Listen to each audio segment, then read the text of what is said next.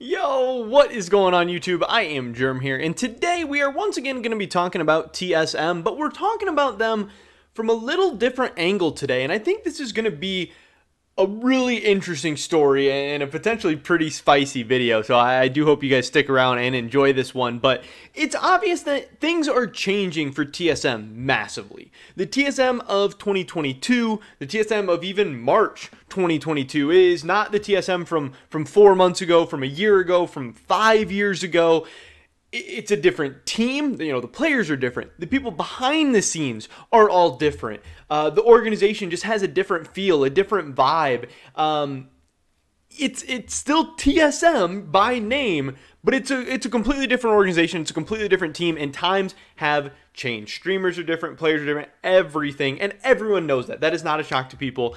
Um, and in this video today, I want to talk about the biggest change of all that could potentially happen. Um, and, and the biggest change that we haven't even seen yet of what if TSM left the LCS or could or, or will TSM leave the LCS? But uh, definitely drop a like if you guys do enjoy this video. I would appreciate that a ton. And subscribe to stay up to date on all my latest content. Um, that would be absolutely awesome if you guys help us run those numbers up more and more. Uh, I know we recently hit 10,000 subscribers like a couple weeks ago or whatever. That's awesome. Thank you guys so much. 15, 20, 100,000. These are my ultimate goals. So I hope that we can keep, uh, one, pumping out consistent good content to you guys that I'm happy and proud of and that you guys enjoy, um, but also that we can keep growing at the same time. With that being said, let's get right into this. So the basis of this, and this is what uh, I think Tales of Octavia was the first one to bring this to my attention, but but other people, um, you know, have kind of been talking about this as well. Uh, Hotline League, March 1st, 2022. Travis Gafford, him, Mark Z, and LS. We're talking about some things, and overall, I think Hotline League is, is, is, pretty good content. It's not like my thing personally. I'm not like tuning in every week or anything like that. But oftentimes I'll, you know, skim through, see what's going on, make sure I'm not missing out on any of the big stories or anything.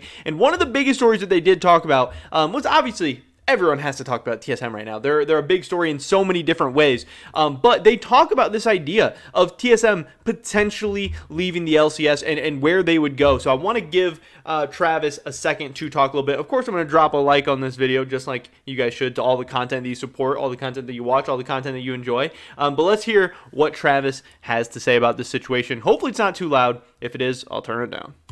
Again, there's all speculation here based off of these public statements, but Parth can't could even say like this wasn't what I wanted. I wanted Bjergsen. I like I was given last minute this.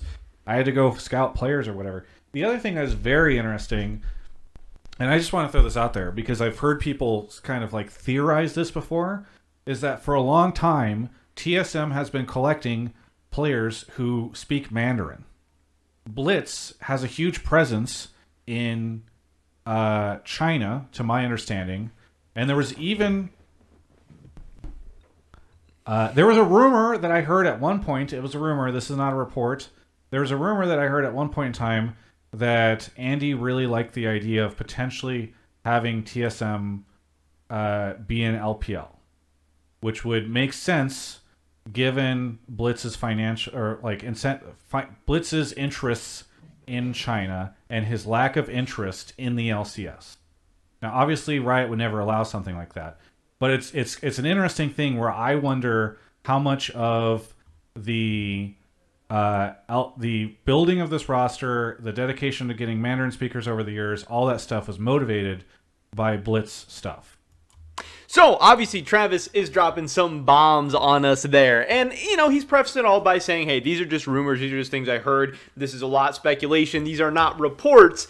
But at the same time, we also understand that Travis Gafford is the CEO of dropping rumors and speculation, not reports um, that are kind of tongue in cheek reports, uh, for lack of a better word. It's something he does often. It's something he's been called out for before. It's something that I'm not trying to call him out for. I don't really care. He can do whatever he wants to do. But I'm just saying uh, he does kind of hide real things he's heard behind, you know, kind of a, a, a shade or whatever, um, which I like because it, it's his kind of way of being able to actually tell us the, the, truth and the big stories and stuff. So, so who knows what actually going on there? Um, but yes, the idea of TSM potentially jumping ship and going to the LPL. Now, Travis says Riot would never let something like that happen, um, but uh, I don't exactly know what that means because we have heard other teams um, trying to apply for other leagues before. I think there was rumors that like some of the LEC teams, you know, had applied for LCS spots previously. Um, I, I, imagine there's been teams that apply, applied for other international leagues before. And maybe those have all been shot down by Riot or whatever, but um, obviously I don't know all the rules and stuff of the franchising. Like if, if Reggie wanted to sell his LCS spot and then wanted to try and apply and buy an LPL slot, like I don't understand why that wouldn't be allowed. I don't understand why that wouldn't be possible.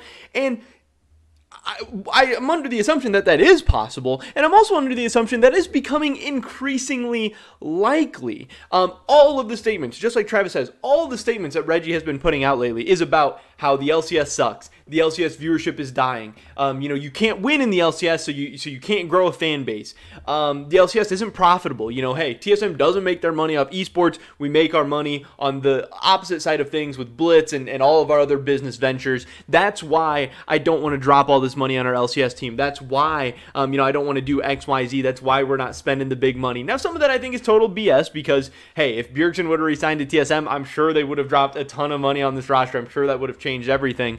Um, and then, you know, there's all the excuses for why they can't spend the FTX money, yada, yada, yada. But yes, TSM is an international brand. Uh, and while the LCS is, is dropping, viewership around the world is is maintaining if not increasing i mean look at the lec look at erls look at china look at korea viewership is doing really really well league of legends the game and league of legends the esport is popping off. It's performing, and there's a lot of reasons why it's not doing as well in North America. Uh, for whatever reason, FPS games are more popular here and, and, and tend to do better over time. Um, and, and for whatever reason, League of Legends never really took off, and we haven't had international success. And it seems like, um, you know, TSM is a big driving force the LCS. They haven't been doing good recently, and we have kind of asshole owners that people don't like, and there's a lot of boring, uninteresting players, and North American players kind of suck and, and are kind of boring.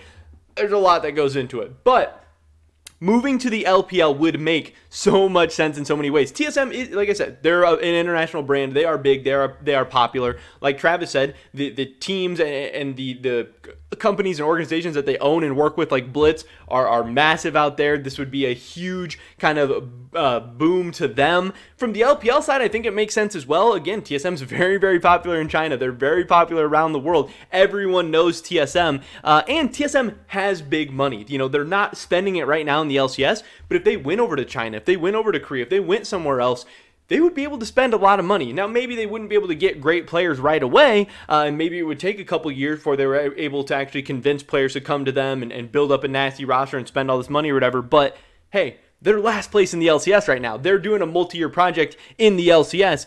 Um, so you would have to assume that a multi year project in the LPL would be better. You have to assume it would also be better on the financial side of things in just in every way. You know, your viewership would go up, your viewer base would go up. Everyone would be tuning in to see how TSM was going to do um, internationally. It would be crazy. It would be a massive story. It would be a huge boom, a huge revitalization to the TSM team and brand from from where they are right now, which is slowly and surely kind of falling off. You know, they can say, "Hey, we're never going to be CLG. We'd never let our team do that." Yada yada yada, but Hey, present day, that is the direction they are trending in. Now, yes, things can get turned around, but it's absolutely possible. And I tweeted this out a couple days ago. I think it is becoming increasingly more and more likely that within the next five years, we could see TSM in the LPL. I, I do believe that the LPL has like an odd number of teams right now. I, I think it's like 17 teams or 15 teams or something like that. So expansion of the LPL is not out of the realm of possibility. Like I said, Reggie's making it pretty damn clear to LCS fans, to North American TSM fans, to um, everyone, anyone who will listen, that he's not really happy with the LCS situation right now. He's not happy with how the league's being run. He's not happy with the rule set. He's not happy with the growth. He's not happy with the revenue. He's not happy in so many different ways. Um, so why would he not love an opportunity to take his team over to the LPL where so many of these issues, if not all of them, would be rectified pretty instantly? Um, and and it would solve like all their problems. They would have a chance to compete internationally. They'd get to play in a better league. They'd have more fans. They'd be making more money. There'd be more more growth potential for the future. It'd be better for their partners like Blitz and all these other things. They already have an established international brand. I just think it makes a ton of sense. And I think Reggie is already starting to drop those hints. Now, I have no idea what the logistics of it would be. I don't know how hard it would be to get out of the LCS to sell the LCS spot. I don't know how hard it would be to get into the LPL, how long it would take, if it's even possible. But if it is possible, and again, to my knowledge, it, it seems like it, it should be, uh, especially if the money's right. Hey, if it makes dollars, it makes sense. And a move like this would make a ton of sense for TSM, for the LPL, and, and probably for Riot as well at the end of the day. Um, so yeah, just know that it's out there. Like Travis said, he's heard people talking about this. He's heard it as a rumor. Maybe not recently, but it's it's at least been an option in the past, and that leads me to believe it could be an option once again in the future. And like I said, if TSM five years from now is not in the LCS, I will not be shocked. That's pretty much it for this video today, guys. Definitely drop a like if you did enjoy it. I would appreciate that so, so much. Leave a comment down below letting me know what you guys think about this. Uh, do you think TSM could leave the LCS? Do you think they would leave the LCS? Do you think they're going to leave the LCS? And then do you think that'd be a good or bad decision? I don't know. I'd love to hear your guys' thoughts and opinions. Subscribe, stay up to date on all my latest content. I Hope we catch you guys in the next one. But until then, peace.